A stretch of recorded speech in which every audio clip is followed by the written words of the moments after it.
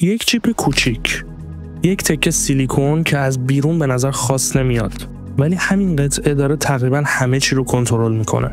از گوشی و لپتاپ گرفته تا یخچال، ماشین، هواپیما، حتی دوربین های در خونه هامون. CPU یا همون Central Processing Unit یعنی واحد پردازش مرکزی. یا به زبان ساده تر مغز یک دستگاه دیجیتال.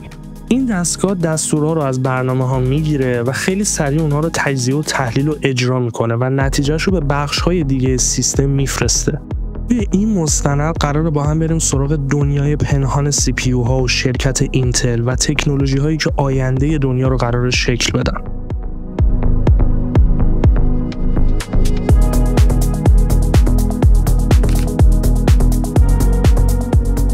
همونطور که گفتیم CPU یه سری دستور دریافت می‌کنه و خیلی سریع اجراشون می‌کنه.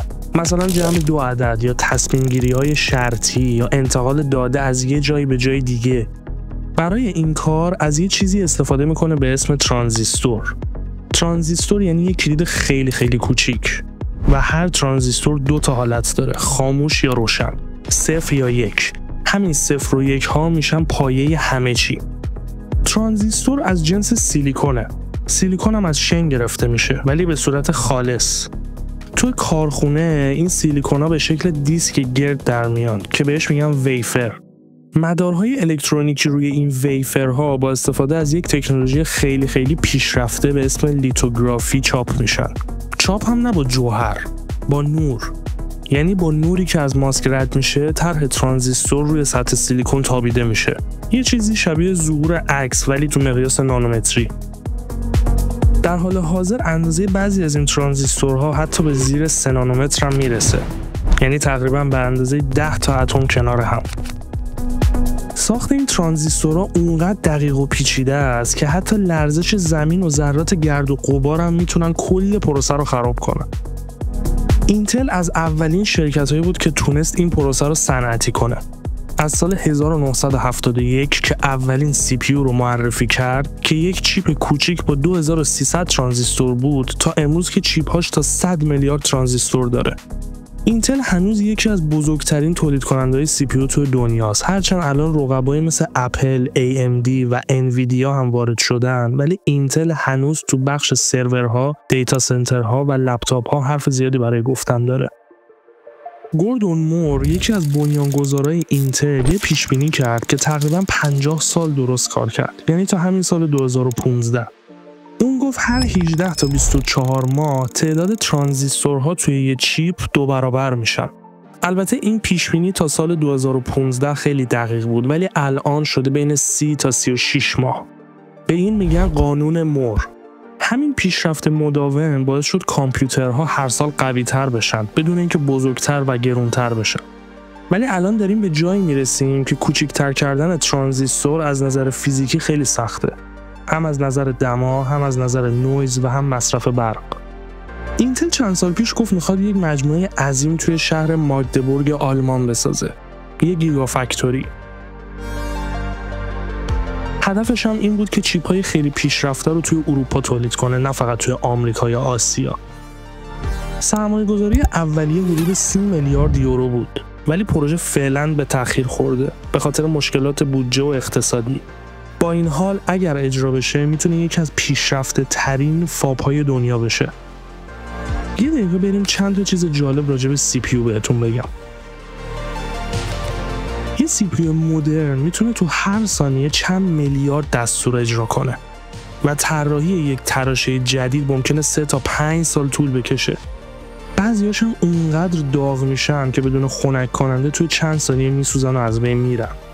ساخت یک فاب یا همون کارخونه تراشه سازی می‌تونه بالای 20 میلیارد دلار خرج داشته باشه. و فقط چاپ طرح روی سیلیکون با دستگاه های انجام میشه که قیمتشون تا 400 میلیون دلار هم می‌رسه. اما شاید جالب ترین بخش ماجرا اینه که همه اینا دیگه فقط راجع به تکنولوژی نیست. تراشه ها الان وسط یک نبرد جهانی هن. یک جنگ تکنولوژیک واقعی. اکثر های پیشرفته دنیا فقط توسط چند تا شرکت ساخته میشه. مثل TSMC توی تایوان یا سامسونگ توی کره. آمریکا با قانون چیپس میلیاردها دلار روی تولید داخلی سرمایه گذاری کرده. چین هم سعی می‌کنه با تحریم شکنی و مهندسی معکوس به خودکفایی برسه ولی اروپا چطور؟ اروپا داره برای استقلال تکنولوژیک خودش میجنگه. اگه بخوام بیشتر بهتون توضیح بدم اتحادیه اروپا می‌خواد تا سال 2030 سهم خودش از تولید تراشه جهانی رو دو برابر کنه برای همین بیش از 43 میلیارد یورو بودجه اختصاص داده تا شرکت های مثل اینتل، TSMC و STMicroelectronics رو به ساخت کارخونه توی اروپا ترغیب کنه. همونطور که گفتیم پروژه اینتل توی آلمان با بودجه نزدیک به 30 میلیارد یورو قرار یکی از پیشرفته ترین فاب های دنیا بشه. حالا دلیل این همه تلاش چیه؟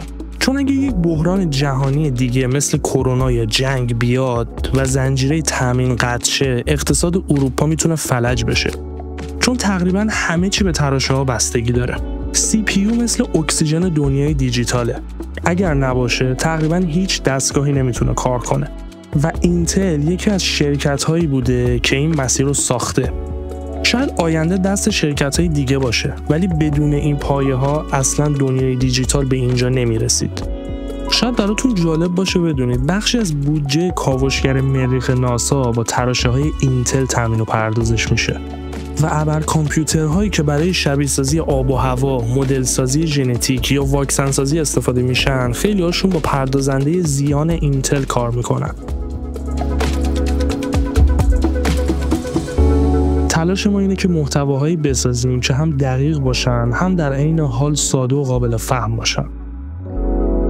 اگر این ویدیو براتون مفید بود خوشحال میشیم با subscribe کردن و like ویدیو از ما حمایت کنید. این باعث میشه که با انرژی بیشتر سراغ ویدیوهای بعدی بریم.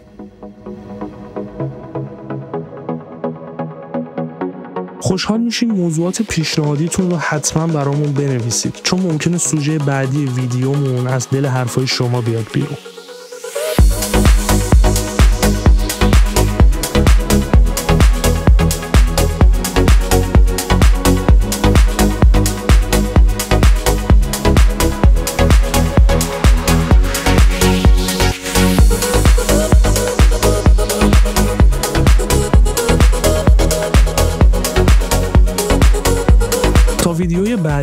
متفاوت فکر کنید با دقت ببینید و همیشه یک قدم جلوتر باشید. فعلا.